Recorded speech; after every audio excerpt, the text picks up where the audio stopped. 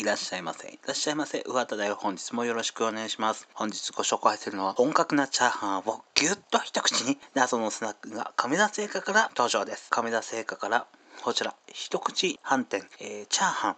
こちらをご紹介したいと思います。こちら、12月17日日間定で全国のコンビニエンスストアで発売となっております。価格は149円ですね、税込みで。具沢山のチャーハンをイメージし、お米のパフと具材のを一緒にギュッと一口サイズに固めたもので、見た目と味もチャーハンそのものだそうです。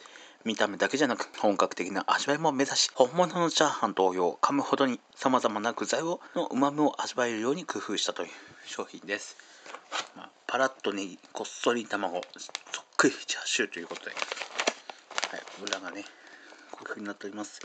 お菓子ですね。はいこういう感じです。まあ、すごいもう入ってるっていうのが分かるね。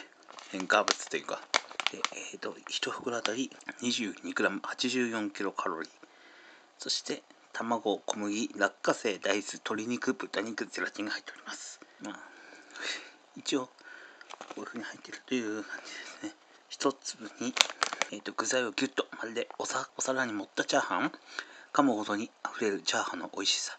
いつでもどこでもサクサク。お手軽な一口サイズ。ということで開けていきたいと思います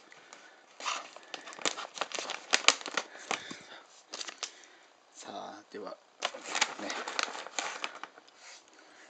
もう本当に一口サイズのベーグですね。いただきます。すごいなこれそっくりチャーシューを味付けした大豆タンパクなんだ。へえ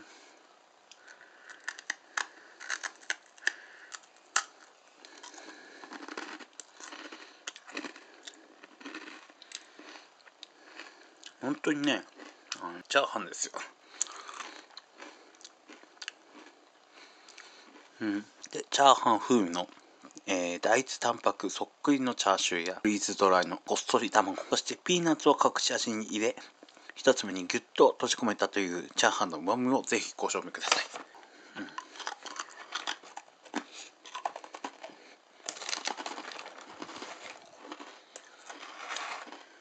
うん、要はぜひチャーハンを味わいたいなという方におすすめですね。いつでもどこでもチャーハン そんな人いるのかな？チャーハンの焼き菓子。面白いね。本当にチャーハンの味がしますよ。チャーハンのお菓子。斬新やなすんげえな。チャーハンの味付けのお菓子ですよ。すごいわ。これでチャーハン食べなくてもチャーハンのお菓子が楽しめる。この斬新さ面白いですね。評価が4です。ぜひね、コンビニで売っておりますんで、是非本格なチャーハンをギュッと一口にした、一口チャーハン、是非食べてみてはいかがでしょうか。はい、この動画が面白いな、ためになんだった方に、チャンネル登録、高評価、関連動画も見てくればまた喜びます。では、じゃあね